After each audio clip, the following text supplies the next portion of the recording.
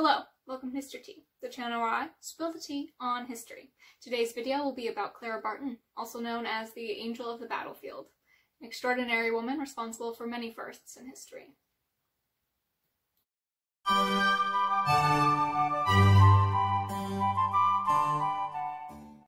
Just so y'all know, this video is going to be split into three parts.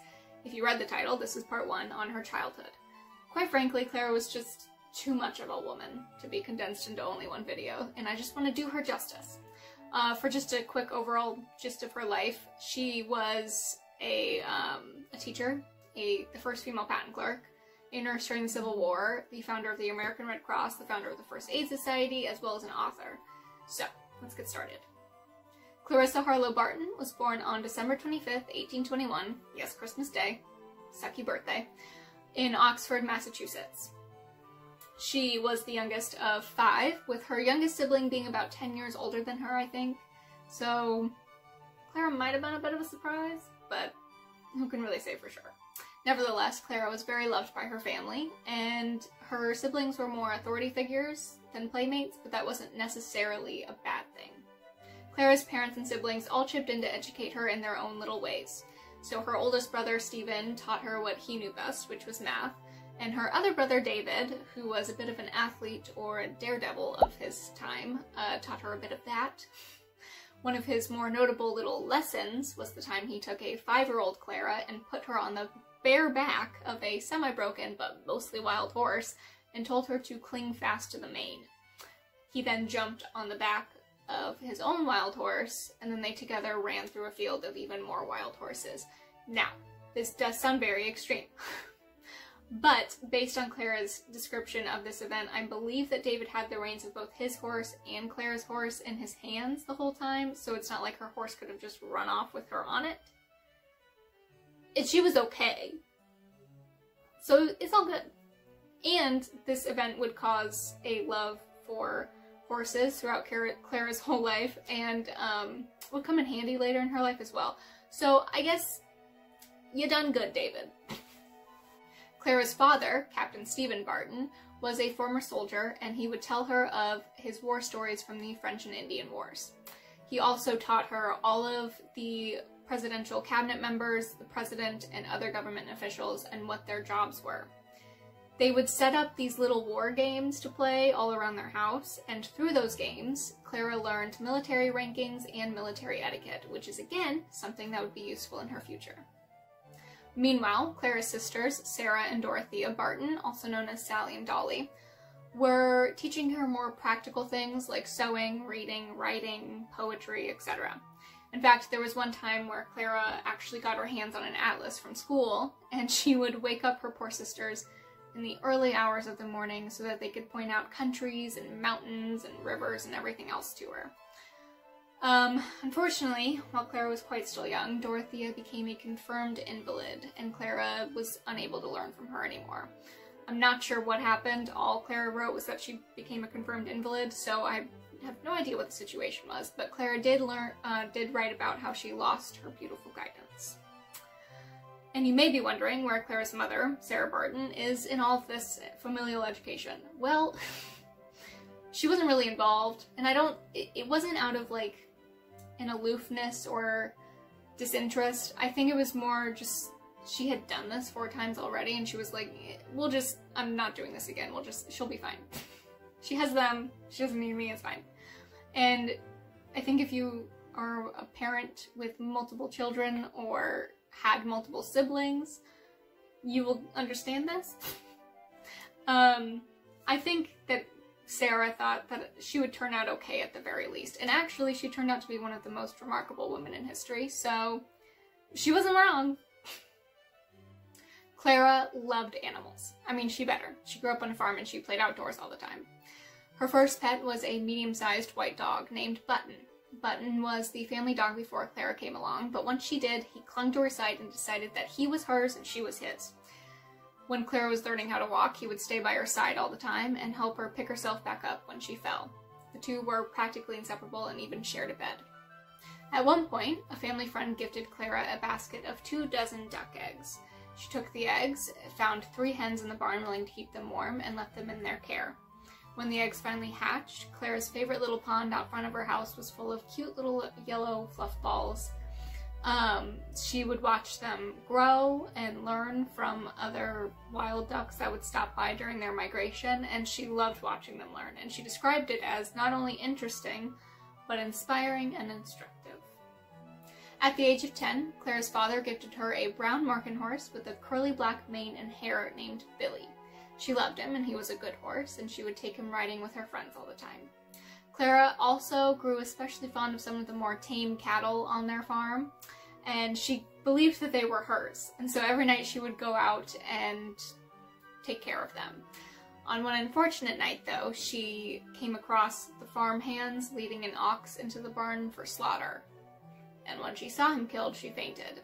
Then in her book, she wrote, I lost all desire for meat, if I had ever had it and all through life to the present, have only eaten it when I must for the sake of appearance, or as circumstance seemed to make it the more proper thing to do. The bountiful ground has always yielded enough for all my needs and wants. So, there you go, vegans and vegetarians. Here is your hero. I've read a lot of things that say that Clara was too shy or timid to really make any friends and was a bit of a loner.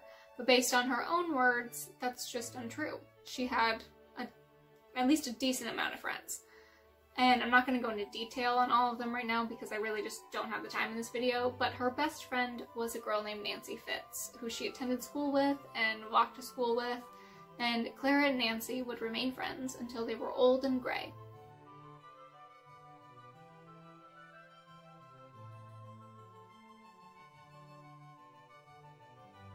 The school seasons were a little different at this time.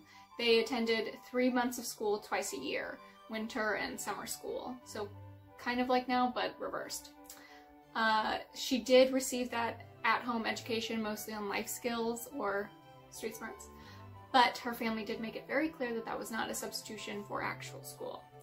She would be carried on one of her brother's shoulders every morning to school, and when she first started attending school, she made it very clear to her teacher that she was too advanced for the class she was put in, so she was then moved to a more advanced class.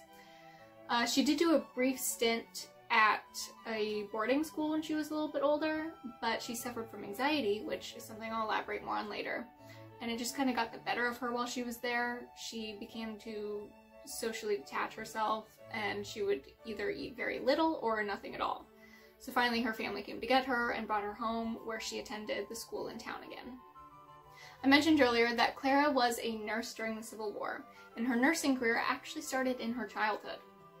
One day while helping a neighbor raise a barn by hand, David Daredevil Barton, as I'm calling him from now on, fell from a great height and landed on his feet and claimed to be okay, but that soon proved to be untrue. It started with a headache the moment he fell, and then a few days later turned into a fever. And I'm definitely not a doctor, but I'm thinking maybe a concussion from the jolt of hitting the floor. I don't know, but something was definitely wrong. Doctors started coming to the house to see David, and keep in mind throughout this part of the video that this was no later than the 1830s, and medicine was just... It was just a whole other ballgame back then. So the doctors came to the conclusion that David had too much blood and bleeding commenced.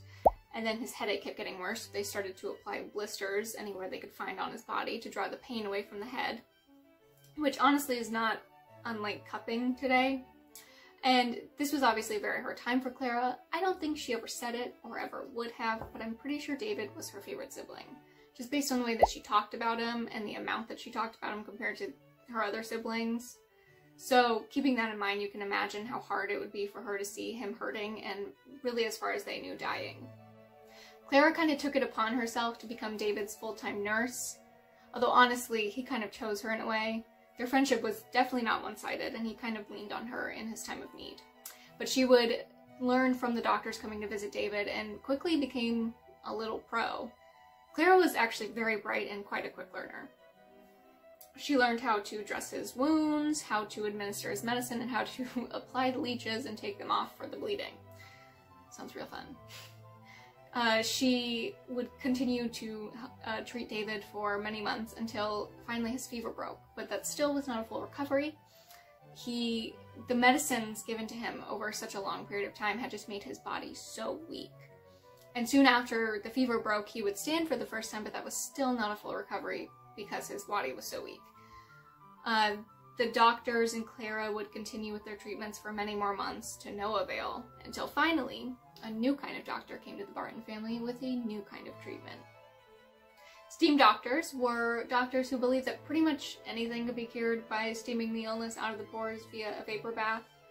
A man named Dr. Asa McCallum uh, traveled to the Barton family from a nearby town and offered to help. Now, a lot of physicians saw this medicine as quack medicine, when honestly, their medicine was the quack medicine, but that's another video. Anyway, the Barton family was probably skeptical, I'm sure, as they had a right to be. But David was desperate, and he was willing to try anything, and he okayed it. So he traveled with Dr. McCallum to his home where he was treated for three weeks, and when he returned home, Clara said it was like David had risen from the dead. So he made a full recovery and was able to return to his business right away. And, you know, I don't know if it was the, the vapor bath that cured him or if it was just a ceasefire of the toxic medicines that he was being given. Uh, but either way, he was okay. And he was alive, and Claire was glad to have him back. This whole span of time where Claire was taking care of David was two years. And those two years definitely did take a toll on Clara. She didn't even grow an inch and she only gained one pound in that time. She only attended one half day of school and she even wrote, I almost forgot that there was an outside to the house. So she really did devote herself to David completely. And that's not something that's really easy to come out of when it's just suddenly over one day and you're expected to just go about business as usual. And don't get me wrong, it was a blessing that David was alive, but you know, she was kind of just left sitting there like, okay, um, what do I do now? And she really struggled with all this free time on her hands. Thankfully, she did find solace in reading. But this behavior of devoting herself to someone and then not really being able to take the time for herself unfortunately was not a one-time thing and that is a pattern that you will see repeated throughout her whole life. At or around the age of 16, Clara became a teacher. Now I'm not quite clear on the age just because I've seen everything from 15 to 18 and Clara never mentioned her age at this point in her book, but I've seen 16 the most, so we're going with that.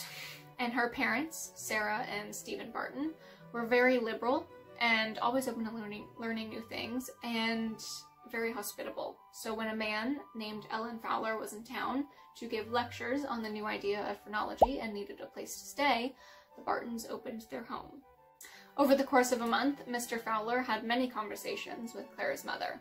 Sarah was so worried about Clara and just didn't know what to do with her. She wasn't disobedient at all. She just was so timid to the point that she never made her needs or wants known to anyone and Sarah was just so terrified that she was going to unknowingly neglect her child. Uh, one day, Clara overheard Mr. Fowler telling her mother that her shy or timid characteristics may be outgrown, but the sensitive nature will always remain. She will never assert herself for herself, she will suffer wrong first, but for others, she will be perfectly fearless, which you will see why that is so ironic soon, or significant soon and then said that Sarah, should throw responsibility upon her. She has all the qualities of a teacher.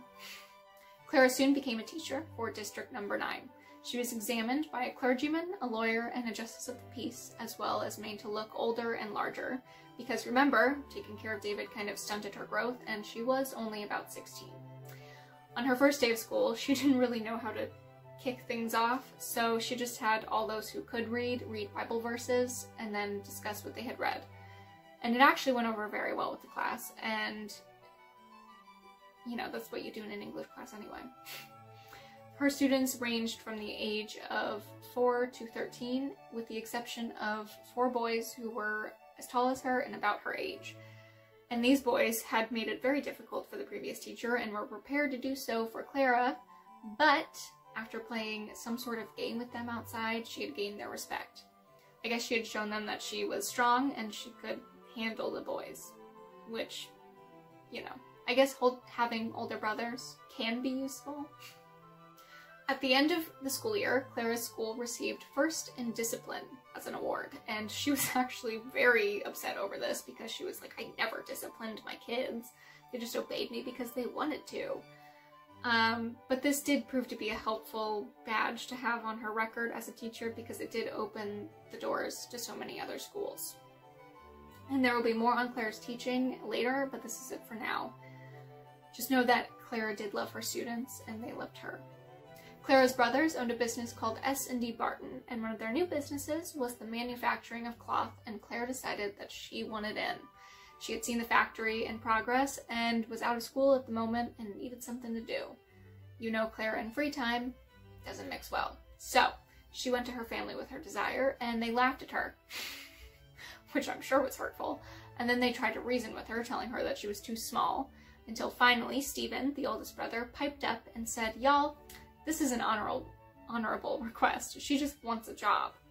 And she took care of David at such a young age when no one that age should have to do that. And if she can do that, why can't she just work a loom? It's ridiculous. And because he was the oldest sibling and partial owner of the factory, everyone listened to him. And the very next day, Clara was off to work at the factory. And she described stepping on the loom platform for the first time as a queen stepping on the throne for the first time, which I just thought was very sweet. Um, she was very good at it and she loved it. Unfortunately, after just a short two weeks, the factory burned down uh, on a day off, thankfully, and was reduced to a pile of smoking rubble within three hours. So, that was the end of Clara's looming career, unfortunately. Something about Clara that is very important, in my opinion anyway, is her struggle with anxiety. At the time they called it shyness or timidity, and she even described it once as awkwardness, but it was anxiety. You can see it in little bits throughout her whole childhood, and one story that's very significant and something that I really personally relate to is the time that David asked her to travel to Maine with him for his wedding. Now keep in mind that at this time it was pretty normal for key family members like parents or siblings to not be in attendance to a wedding, and Clara was the only family, family member attending his. And he really wanted her there, and that meant so much to her, and she said, yes, of course. And the day that they were supposed to leave for Maine on a boat, they were waiting on the platform and the boat was late, which gave her time to start to spiral with her anxiety, which if you have it, I'm sure you know what I mean. I've been there so many times. um, she'd never been on a boat before and she just started crying and she was like, I'm gonna ruin the whole wedding. Just David, let me go home, please. And he was like, no. So she ended up getting on the boat, made it to Maine. Everything was great. And then David and his bride sat her down and were like, will you please be one of our bridesmaids? Which is very sweet and it meant so much to her. So she said yes, but then of course she just spiraled again. She was like, oh my god, I'm gonna ruin the whole wedding again. so she did it and she ended up not ruining the wedding and it was all great. And I've been there before, literally with my sister's wedding, asking me to be the maid of honor. I was like, yes, oh my god, my sister wants me to be her maid of honor yay, but I'm gonna ruin the whole wedding. I ended up not ruining the wedding either, so good on us. Um, but I, if you have anxiety, you can sympathize with her situation where she faced her fear getting on the boat and then was immediately stuck with another hurdle. so that's just something to keep in mind, knowing about Clara. And if you do struggle with anxiety, like I do, and like Clara did, maybe you can be inspired by her the way that I'm inspired by her because she never let it get in her way. Because with anxiety, it's so easy to like want to cut and run, you know, you just, oh, just, if this scares me, I'm just not going to do it. But she never let that get in her way. So take a page out of Clara's book. Don't worry, y'all, we are coming to an end. To wrap this video up, I just want to say that Clara wrote a book called The Story of My Childhood, which was published in 1907. And that is the book where I got most, if not all, of the information for this video. And it's a great read. It's nice to hear her stories in her words, and I really do recommend it, so I'm going to link it on Amazon below if you want to check it out. Um, it's really, I really loved reading it. It kind of felt like talking to her, which is really just special for me because I love her and she's my favorite person in all of history and I just wish I could sit her down, have a cup of tea, and just talk. Um, I actually have her picture on my wall